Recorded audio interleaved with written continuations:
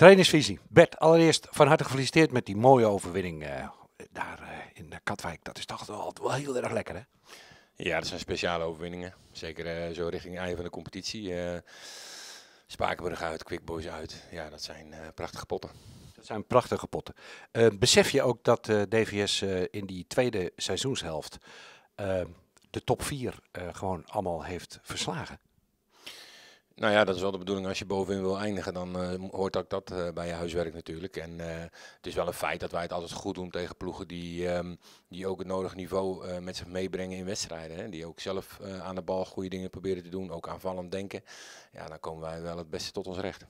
Het is natuurlijk vreselijk om weer achteruit te moeten kijken en ja, die zonde wedstrijden nog weer eventjes naar voren te halen. Want we hebben wat punten laten liggen, waardoor we misschien nu misschien helemaal bovenaan hadden kunnen staan. Ja, maar als je goed gekeken hebt naar de andere clubs, dan zie je dat die ook heel veel punten hebben laten liggen. Dus zo heeft iedereen zijn verhaal. En uh, misschien hebben we ook wel eens wedstrijden gewonnen die we niet hadden mogen winnen. Dus uh, al met al sta je daar waar je hoort te staan. Zo is het ieder jaar weer. En uh, achteruit kijken heeft niet heel veel nut. Het is wel belangrijk dat je op het moment dat het niet goed ging, hebt gekeken wat er misging en dat je daarna gehandeld hebt. En daardoor eh, win je wedstrijden. En dat was het belangrijkste.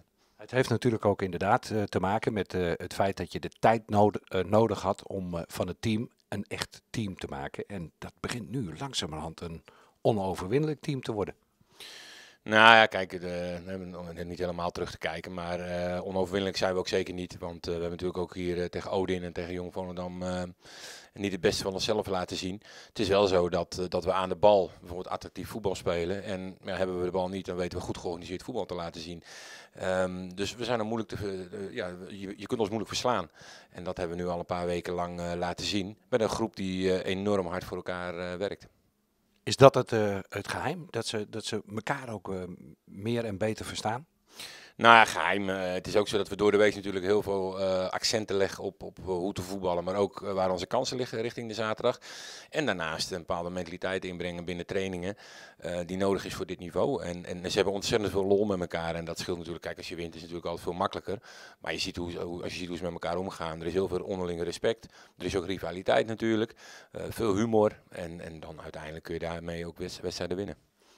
Hebben nog vijf wedstrijden uh, te gaan. Uh, snak je een beetje naar het einde of uh, zeg je nee, juist die laatste vijf wedstrijden, heerlijk? Nee, Piet, als je in zo'n lekker ritme zit, dan hoop je dat het nog een half jaar tot een jaar doorgaat natuurlijk. nee hoor, en je ziet ook dat we er mentaal en fysiek goed op staan. Dus ja, het is, het, is, een heel lang seizoen, dat voel, dat voel je wel aan alle kanten. Alleen ehm, ook zaterdag weer van zo'n wedstrijd krijg je weer energie. En dan kan je niet wachten tot de volgende wedstrijd weer daar is daarom is het ook wel uh, lekker uh, dat je die energie uh, nodig hebt, dat de geblesseerden langzaam maar zeker weer terugkomen. Ja, ik moet zeggen dat de medische staf uh, fantastisch werk uh, verricht. Dat doen ze het hele jaar al. Maar je ziet nu ook met deze langdurige blesseren dat ze een mooi uh, traject zijn aangelopen met deze jongens. Natuurlijk ook de jongens zelf. Als je ziet, ze zijn er altijd, zijn altijd met hun stel bezig. En die willen onderdeel zijn van dit team, van dit, deze succesvolle periode. Ja, en als je hun nog kan brengen op de, op de mooie moment, op het moment dat het nodig is. Ja, dat is natuurlijk fantastisch. Ga jij uh, donderdagavond uh, naar de spelers toe nog grenzen aangeven vanwege alcoholgebruik op uh, Koningsdag? Zo van, nou, twee biertjes, nou, vier, nou, vijf is de, de grens. Vijf fusten of vijf? Vijf fusten? Nee, ja, natuurlijk. Ja, weet je, je gaat ervan uit, schijnbaar is het hier vorig jaar niet helemaal goed gegaan op dat gebied. Uh, nou, laten we zeggen dat ieder mens mag leren van zijn eigen fouten. Uh, maar ik ga ervan uit dat deze spelersgroep beseft in welke positie ze zitten. Dat, dat, ja, dat je die derde periode kan winnen, dat je hoog in de stand kan eindigen. Ja, daar hoort gewoon bij dat je zaterdag fit in het veld staat. Moet je dan geen Koningsdag vieren? Tuurlijk wel. Dat moet je lekker doen, zeker met je familie. Kleedjesmarkt af, gezellig een biertje drinken overdag. Maar wel met mate. En, en dat gaan we zo aangeven, ja. Dat gaat de trainer ook doen? Ik ga ze tot aan vier uur s'nachts volgen, ja. Jij zelf met mate? Ja, ja, zeker. Ik moet een beetje in de gaten houden natuurlijk. Ja. Hartstikke goed, Bert. Uh, nou, uh, Jong Almere City, daar, uh, daar begon eigenlijk een beetje het DVS-feestje dit seizoen. Ja, dat was zo'n wedstrijd, ja, je hoort het wel vaker, die moest je winnen. Maar de belangen in, in dat weekend waren erg groot. En, en daar is eigenlijk het, het sfeertje ontstaan van met z'n allen uh, een eenheid vormen, laten zien hoe sterk je bent. En, en ja, op dat moment was Almere volgens mij koploper en uh, speelden we daar een dijk van de wedstrijd. Ja, ik had het idee dat ze zich uh, toen een beetje verkeken op ons en ze zullen zich nu denk ik wat beter voorbereiden, Bert.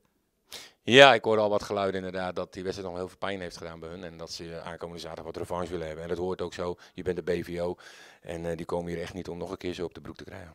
Dus daar gaan we weer een heerlijke pot uh, meemaken, denk ik, uh, zaterdag. Ja, want uh, tegen de jong BVO's is er altijd heel veel voetbal mogelijk. Maar aan de andere kant weet je ook dat zij zoveel klassen hebben dat zij ook tot kansen komen. Dus kan weer een aardig attractief potje worden.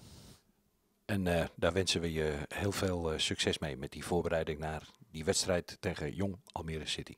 Dankjewel, Piet.